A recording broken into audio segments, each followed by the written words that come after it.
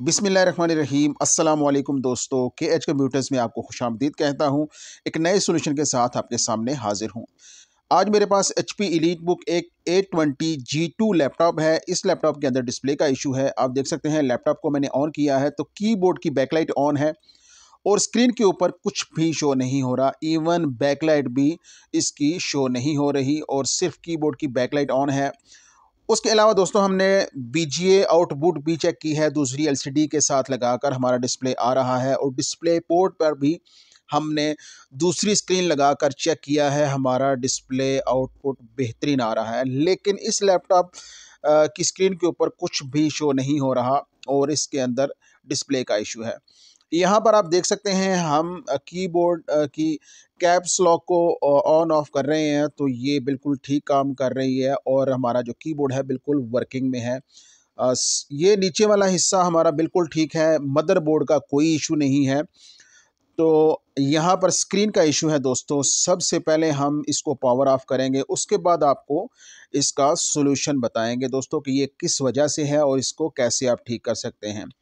आपसे गुजारिश है सोल्यूशन अच्छा लगे वीडियो अच्छी लगे तो चैनल को सब्सक्राइब करें लाइक करें, ज़्यादा से ज़्यादा और दोस्तों के साथ शेयर करें। दोस्तों, आपने इसका बैक कवर ओपन करना है। बैक कवर ओपन करने के लिए तमाम स्क्रूज़ को आपने एक एक करके ओपन करना है एहतियात के साथ तो आसानी के साथ बैक कवर इस तरह खुल जाएगा। उसके बाद दोस्तों, आपने इस फॉल्ट के मतलब जो मैंने आपको चीज़ बतानी है, वो करनी है। आपने बैटरी पैक इसका रिमूव करना है। उसके बाद यहाँ पर ये आप देख सकते हैं, ये डिस्प्ले केबल है जिसको एलवीडीएस केबल कहते हैं दोस्तों, और इसका जो दूसरी साइड पे कनेक्टर होता है, वो एलईडी डिस्प्ले के साथ कनेक्ट होता है, और एक इसकी जो साइड है, वो मदरबोर्ड के साथ कनेक्ट होती है। तो ये एलवीडीएस केबल अक्सर प्रॉब्लम करती है, और जब इस तरह का प्रॉब्लम हो कि लैपटॉप आपका बिल्कुल ठीक हो और आउटपुट डिस्प्ले उसका आ रहा हो वी या दूसरी एच पे तो अपना डिस्प्ले इसका ना आ रहा हो तो ये इब्तदाई तौर पर आप चीज़ चेक कर सकते हैं कि आपके लैपटॉप के साथ डिस्प्ले केबल के मतलब या एलसीडी के मतलब कोई इशू तो नहीं। यहाँ पर आप देख सकते हैं, मैंने एलवीडीएस केबल का कनेक्टर उतारा है, आप इसको वो क्लीन करके साफ़, साफ़ सुथरा करके दोबारा आप इसको ड्राई करके लगा सकते हैं। आपने नमी नहीं छोड़नी इसमें और नमी अगर रहेगी तो शॉर्टेज हो सकती है। बैटरी पैक रिमूव करने का मकसद ये है कि अगर आपके लैपटॉप के ऊपर कोई ऐसी वर्किंग है जो आप इसको ओपन कर रहे हैं या पार्ट्स वगैरह उतार रहे हैं, लगा रहे हैं तो शॉर्टेज ना हो। हमने कनेक्टर को दोबारा मदरबोर्ड के साथ कनेक्ट कर दिया है। अब हम इसको थोड़ा सा चेक करेंगे कि जो हमने ये एक मेथड अप्लाई किया है या एक सोल्यूशन के तौर पर हमने ट्रबल शूटिंग की है, इसकी वजह से हमारे लैपटॉप के अंदर कुछ तब्दीली आती है या इसका प्रॉब्लम वही है। यहाँ पर दोस्तों आप देख सकते हैं कि हमारा जो प्रॉब्लम है बिल्कुल उसी तरह है और इसमें कोई खातिर खा तब्दीली नहीं आई है। तो आइए दोस्तों, हम अब इससे अगले स्टेप की तरफ़ बढ़ते हैं। उस, उससे अगला स्टेप दोस्तों, आपका जो है वो एलसीडी डिस्प्ले के मुतालिक है। आपने करना ये है कि ये जो लैपटॉप है, इसका तो ये फ्रंट बेजल सिंपल नहीं है, बल्कि ये टच पैनल है पूरे का पूरा इस मॉडल के अंदर।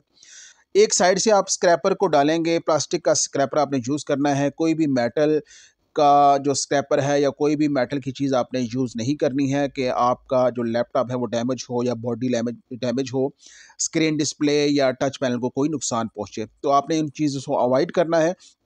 यहाँ पर आप देख सकते हैं हमारा जो टच पैनल है ये अलग हो चुका है।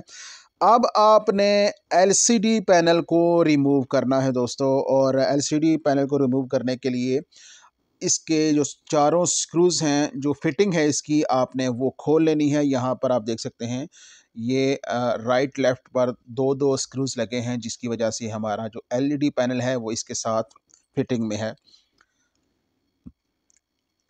चार स्क्रूज़ खोलने के बाद हमारा जो एलईडी पैनल है, वो बाहर आ चुका है। यहाँ पर आप देख सकते हैं कि हमारा जो एलईडी पैनल के साथ एल केबल का कनेक्टर है, वो इंतहाई नीचे की जानब हुआ है और बहुत टाइट होने की वजह से इसके साथ सही तरह कनेक्ट नहीं हो रहा, जिसकी वजह से भी ये प्रॉब्लम आपको फेस करना पड़ सकता है।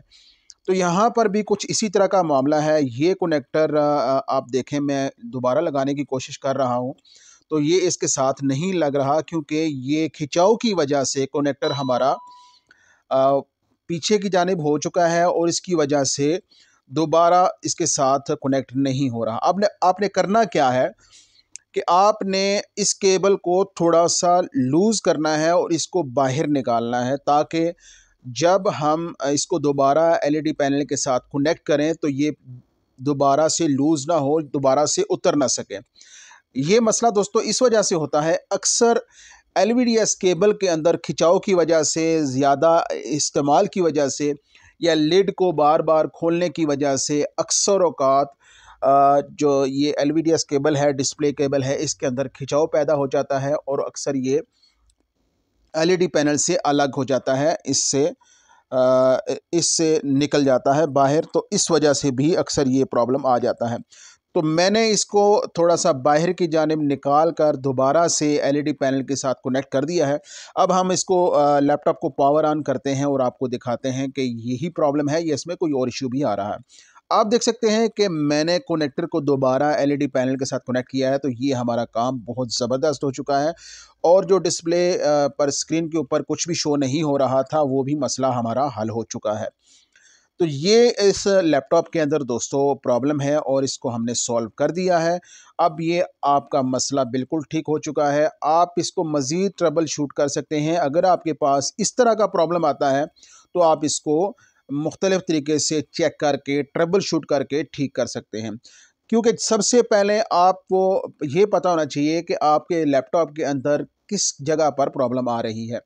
इस लैपटॉप के अंदर आप देख सकते हैं हमारा वी आउटपुट डिस्प्ले भी ठीक था। हम दूसरी एल को साथ कनेक्ट करते थे तो हमारा डिस्प्ले आ रहा था। डिस्प्ले पोर्ट पर भी हमारा डिस्प्ले बिल्कुल ठीक था और कीबोर्ड वगैरह और नीचे वाला हिस्सा, इसका मदरबोर्ड का बिल्कुल ठीक था। और सिर्फ़ प्रॉब्लम कहाँ पर आ रही थी कि आपकी स्क्रीन के ऊपर डिस्प्ले शो नहीं हो रहा था। तो इस लैपटॉप के अंदर जो मसला था वो भी मैंने आपको तफसील से बता दिया और इसका जो सोल्यूशन है दोस्तों वो भी मैंने आपको तफसील से बता दिया है।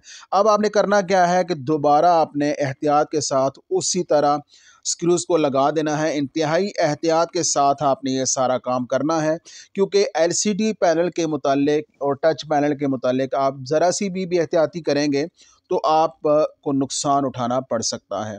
तो इंतहाई एहतियात के साथ स्क्रूज़ को दोबारा से मैंने लगा दिया है। अब इसको टच पैनल को दोबारा मैं लगा दूँगा, क्लोज़ कर दूँगा। लास्ट में आपको दोबारा से मैं इसका एक प्रीव्यू दे दूँगा। आप चेक कर लीजिएगा कि हमने जो शुरू में आपको प्रॉब्लम बताया था और जो हमारी इस लैपटॉप के अंदर प्रॉब्लम आ रही थी तो अब ये हमारी प्रॉब्लम बिल्कुल ठीक हो चुकी है। दोस्तों, उम्मीद है कि आज का सलूशन आपको पसंद आया होगा। अगर सलूशन अच्छा लगे वीडियो अच्छी लगे तो चैनल को सब्सक्राइब करें लाइक करें और दोस्तों के साथ वीडियो को ज़्यादा से ज़्यादा शेयर करें। बहुत ज़्यादा मेहनत और बहुत ज़्यादा कोशिश के बाद ये वीडियो तरतीब देता हूँ, सिर्फ़ और सिर्फ़ आपके लिए, ताकि आपको अगर इस तरह का प्रॉब्लम हो तो उनको आप सॉल्व कर सकते नेक्स्ट किसी अच्छे सोल्यूशन के साथ आपसे मिलते हैं। तब तक अल्लाह हाफिज़।